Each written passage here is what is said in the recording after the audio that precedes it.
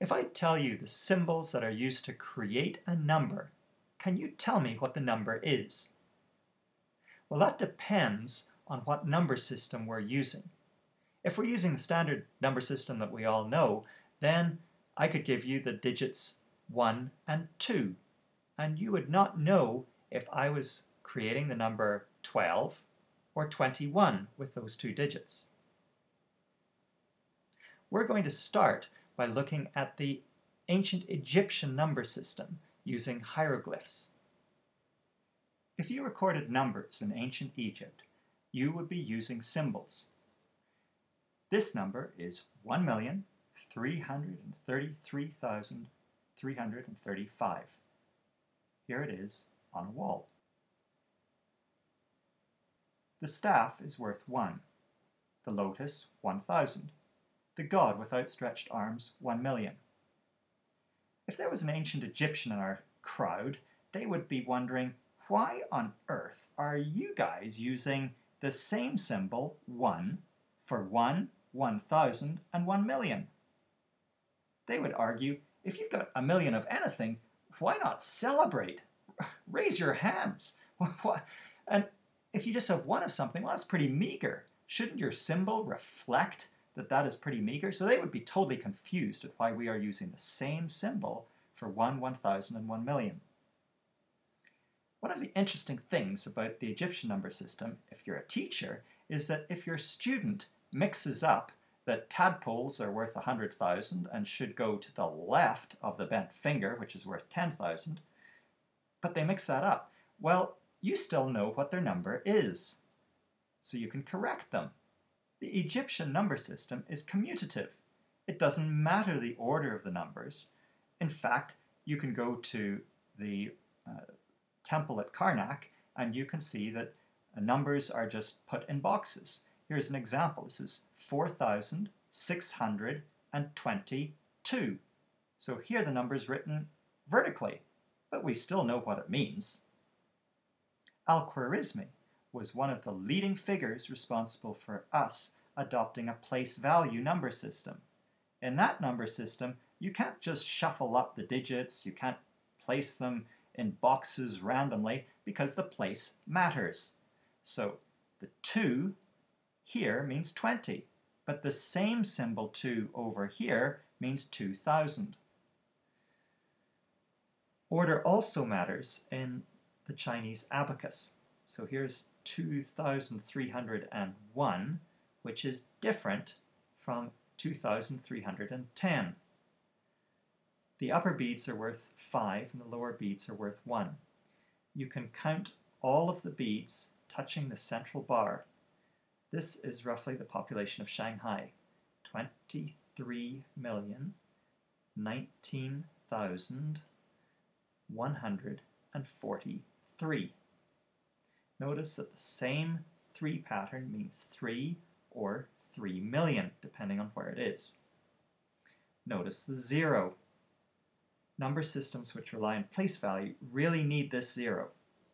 And this abacus system has a pattern of beads which means zero, namely that the central bar doesn't have any beads touching it.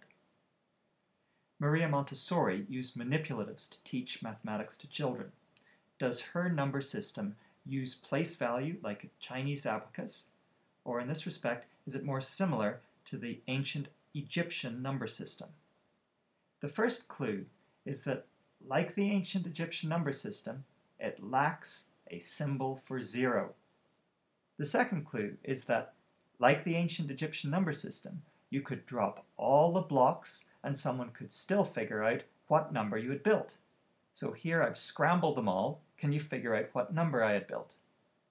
Of course you can. The number is 2397. Try doing that for a scrambled number in the Arabic number system, and you can just see how important place value is. Go ahead, figure out what number I've scrambled here. You can't. There's many possibilities. Roman numerals, like the number on this entrance gate to the Colosseum, lack a zero. And they could usually be picked up and reassembled if they got scrambled, but not always. I'll leave that for you to ponder.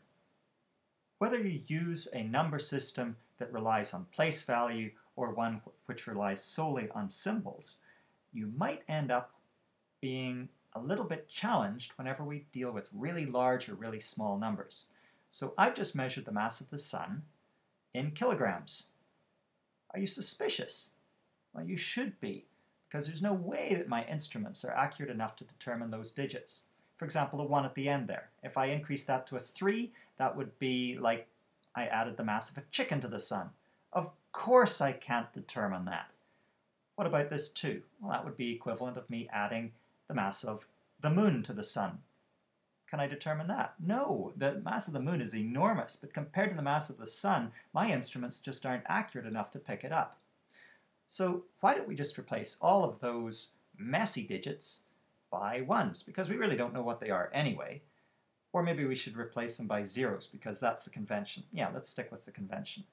Okay, so really the important information in this number is to be contained at this top end and also in the number of steps to get there. So the place value of that 1. Well, let's figure out what that is. 3, 6, 9, 12, 15, 18, 21, 24, 27, 30. So that is a more compact way to describe the mass of the sun in kilograms. I Maybe my calculations don't even need me to be that exact. Maybe I could just say it's 2 times 10 to the 30th. The Babylonian number system is the last that we're going to look at. We're going to look at a single number here. It might look like three different numbers, but it's actually a single number. Those are three symbols, the symbol for 20, the symbol for 38, and the symbol for 21.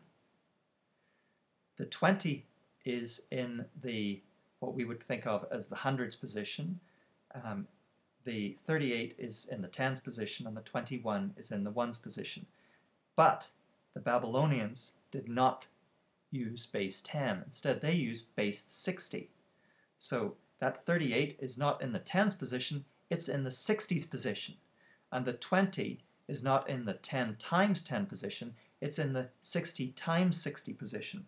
Ouch! So that's 2,280, and this is 20 times 60 times 60, that's 72,000. So this number is 74,301. I'll leave you to Google uh, the Babylonian number system to find out their major shortcoming and the problems that it caused. They forgot to invent zero.